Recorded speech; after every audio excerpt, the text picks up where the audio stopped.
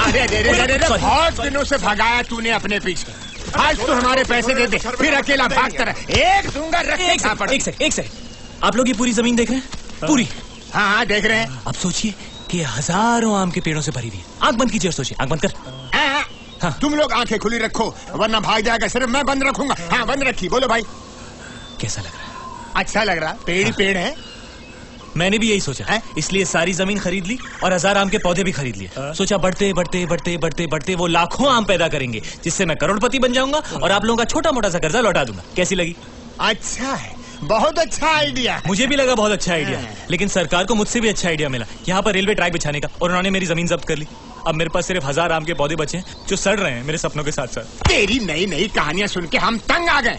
अरे तूने कितने धंधे बदले? सब में नुकसान हुआ। तो उसमें हम क्या करें हाँ? तूने गाँव के कुत्ते बिल्ली तक से उधार लिए। अब तो फैसला करना ही पड़ेगा। बता कब दे रहा है पैसे? कल शाम पाँच बजे। दरिया के पास वाला जो पुल है ना आप सब वहाँ आ जाइए। पाँच बजे सात बजे दस बजे काफ़ी सालों से सुन रहे हैं ये। वही तो। इतने सालों का रिश्ता है हमारा। भरोसा नहीं है क्या मेरे पे? नहीं ना, ना, एकदम ना। अब वो सब छोड़ना।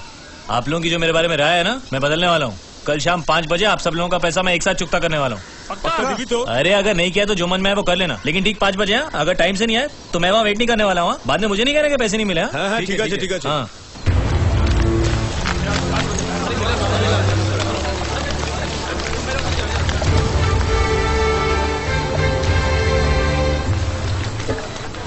अरे आइए आइए आइए आप सब लोगों को मेरा नमस्कार वाह पाँच बजे बोला तो आप लोग ठीक पाँच बजे आ गए हाँ?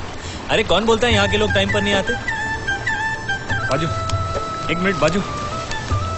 पैसा देना शुरू कर दिया क्या? अरे सुनिए फ़िक्र मत कीजिए कार्यक्रम अभी शुरू हुआ है।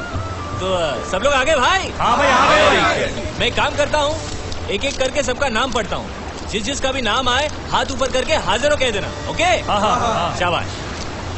हरिराम नाविद बारह हज़ार दो सौ पचास रूपए। अच्छी। हाँ। हाँ हाँ। प्रभाकर शेट्टी तेरह हज़ार नौ सौ ब्याज मिला के। हाजिर। क्या हाल है भाई? हाँ ठीक है ठीक है। रघुवीर ग्वाला बीस हज़ार पाँच सौ। अच्छी हाँ घर पे सब कैसे हैं? हाँ ठीक है ठीक है चलो। अबे ओए पहले मेरा पैसा चुकता कर और मुझे दफ़ा दफ़ा कर। अरे शर्मा जी सबसे ज़्यादा पैसे इन्हीं को देने हैं और यही सबसे लेट आ रहे हैं। अब और देर मत कर मेरे पैसे निकाल।